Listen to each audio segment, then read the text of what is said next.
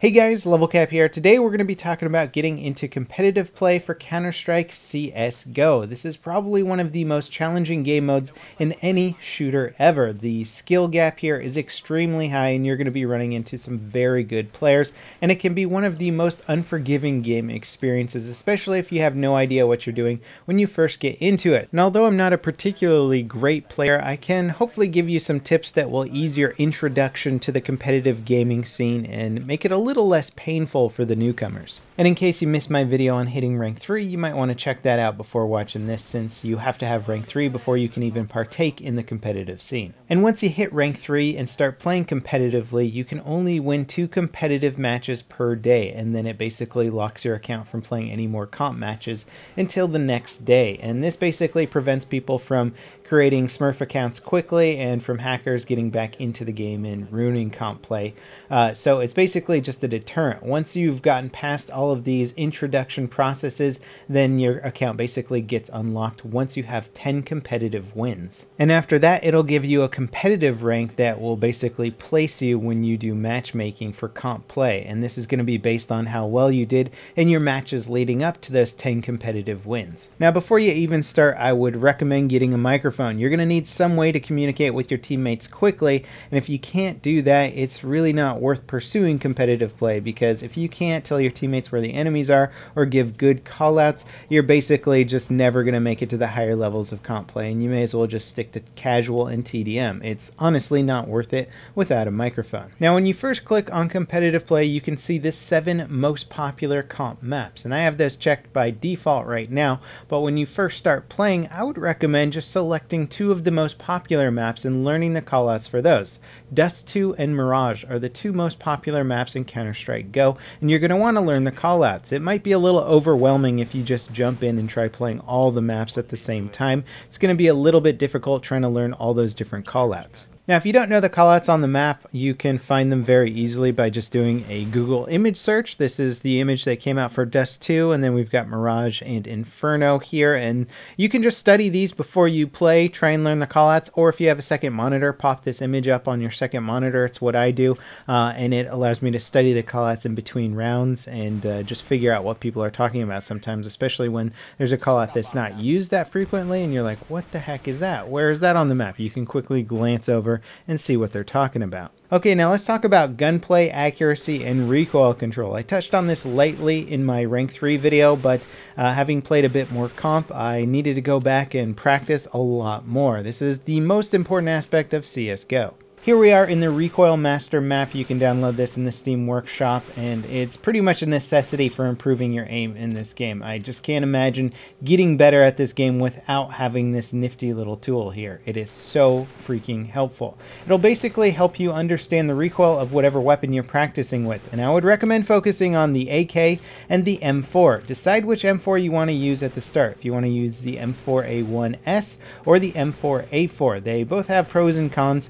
The M M4A1S is what all the pros seem to be using. Jack Frags recommended that I just practice with that one instead of the 30 round magazine one, and so that's what I've been doing. I've also created a custom crosshair using the crosshair generator that you can download in the Steam Workshop, and this has helped me uh, control the recoil on both the M4 and the AK. I've made it so that the top part of the pink line there is going to be where the AK recoil ends at the top, so I, I essentially want to drag down till the top of that pink bit there is at the head level with my enemy, and if I'm using the M4A1S, then I want to drag down till the bottom part of that pink line is lined up with my enemy's head, and that'll basically show me where the recoil is going to end for each weapon, and it really helps with learning weapon recoil. You might not need it once you get really good at the game, but right now it's something that I absolutely need to rely on. Now once you've mastered your recoil in the simulation, take it in game and be surprised by how amazing you do.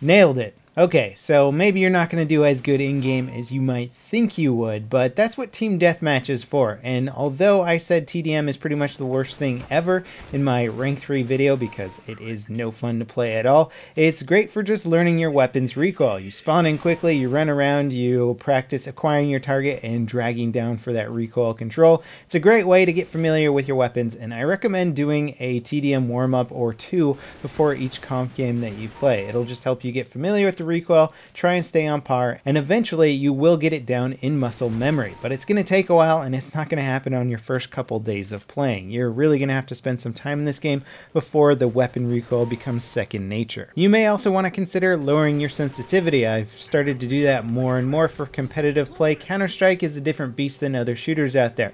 You're not expected necessarily to be whipping around and looking in tons of directions all the time.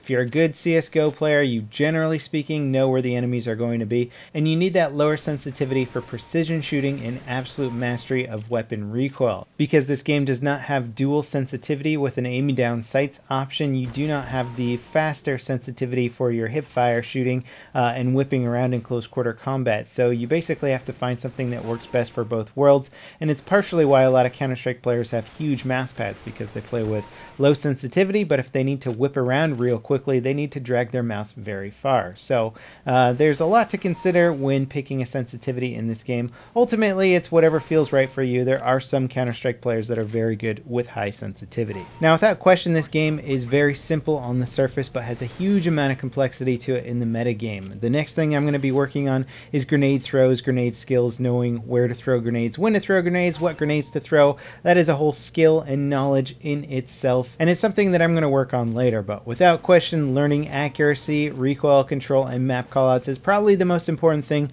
to learn right off the bat. And once you complete your 10 competitive match wins, you should have a pretty good understanding of the callouts for at least three or four of the most popular maps and have a basic understanding of weapon control. I don't expect anybody to come out of 10 competitive matches with pro level accuracy. That's gonna take years probably to get that kind of muscle memory ingrained in you. Anyway, that kind of wraps it up for my second stage newbie tutorial here. I highly recommend those trainers that you can download in the Steam Workshop. They are going to help you out a lot for improving your reaction time, recoil control, and uh, also map callout. So as always, guys, thanks for watching, and I'll see you next time. This is Level Cap signing off.